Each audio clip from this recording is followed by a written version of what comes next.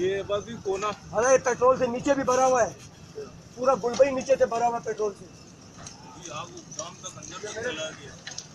ये मेरा दाम का खंजर सामने मेरी आँखों